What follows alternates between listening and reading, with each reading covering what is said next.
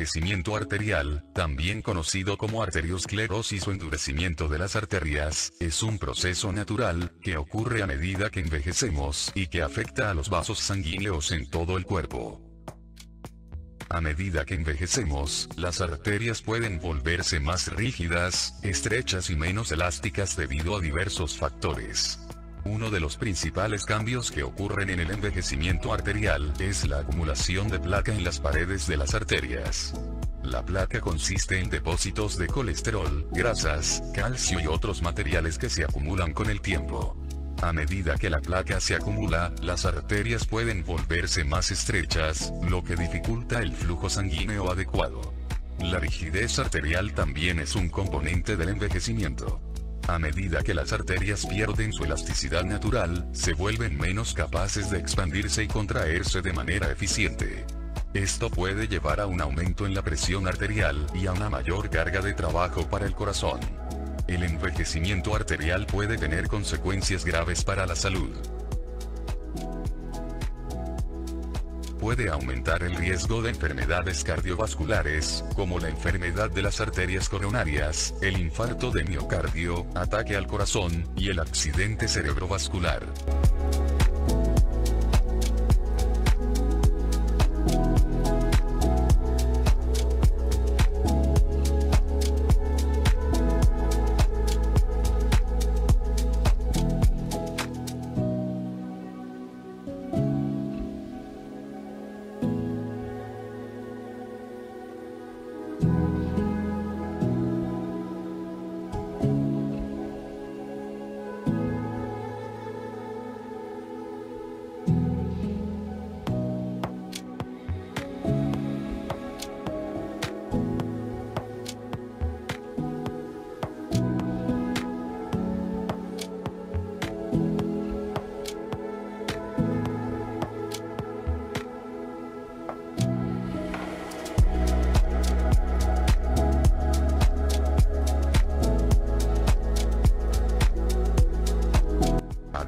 La disminución del flujo sanguíneo y la rigidez arterial pueden afectar la función de diversos órganos y tejidos en el cuerpo.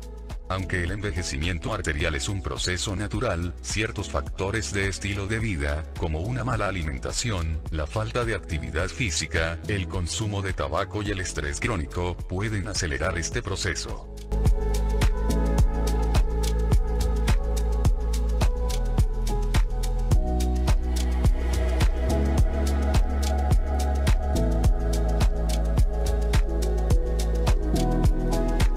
Mantener hábitos saludables, como llevar una dieta equilibrada, hacer ejercicio regularmente, no fumar y controlar la presión arterial y el colesterol, puede ayudar a reducir el impacto del envejecimiento arterial y mantener la salud cardiovascular.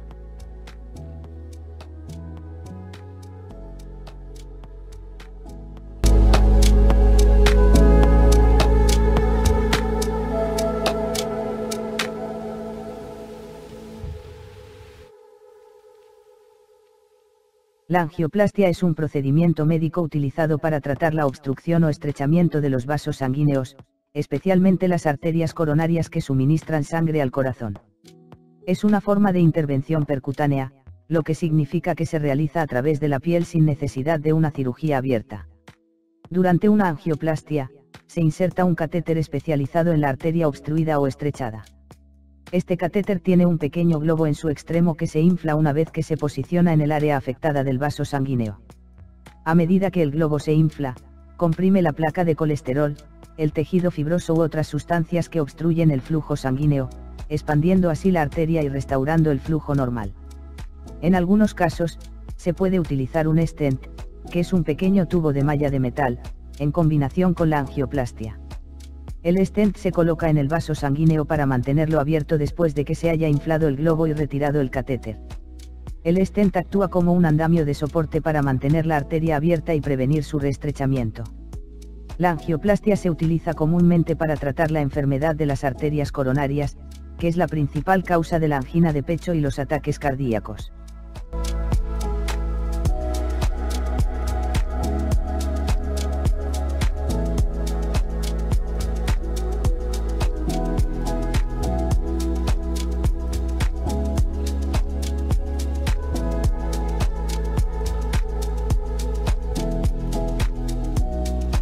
También se puede realizar en otros vasos sanguíneos del cuerpo, como las arterias periféricas que suministran sangre a las piernas.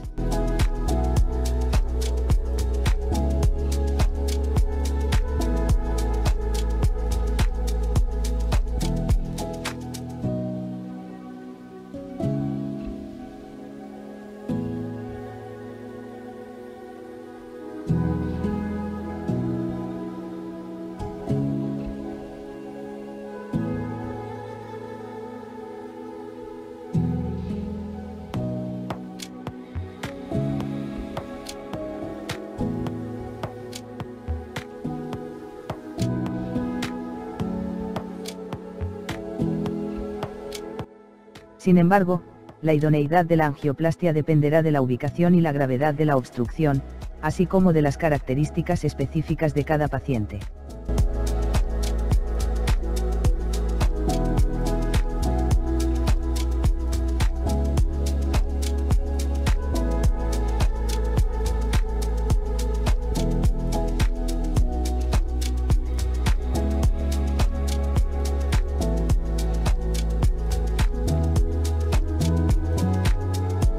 El rotablator coronario es un dispositivo médico utilizado en cardiología para tratar la enfermedad de las arterias coronarias, específicamente en casos de obstrucciones severas causadas por la acumulación de placa ateroesclerótica. El rotablator es un sistema de aterectomía rotacional que utiliza una fresa especializada para eliminar la placa de las arterias coronarias y restaurar el flujo sanguíneo adecuado. El procedimiento con el rotablator involucra los siguientes pasos.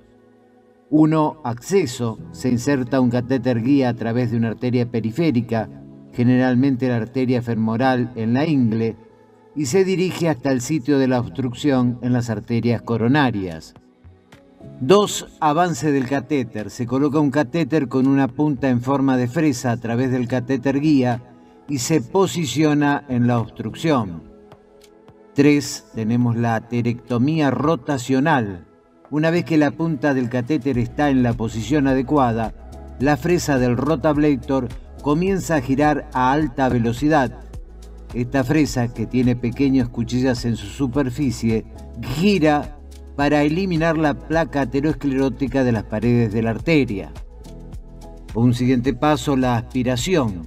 Durante el procedimiento se utiliza un sistema de aspiración para recoger los fragmentos de placa y restos de tejido que se han eliminado con la fresa. Luego, la limpieza y restauración del flujo sanguíneo.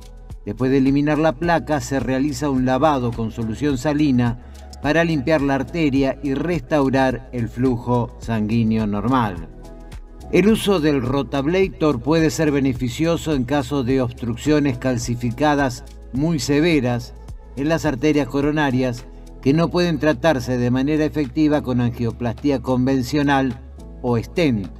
Sin embargo, el uso de este dispositivo requiere habilidades y experiencia especializadas debido a su naturaleza invasiva y precisa.